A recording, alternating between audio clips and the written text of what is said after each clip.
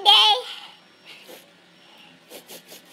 Mama, can you come here and, and sniff sniff my tummy, please?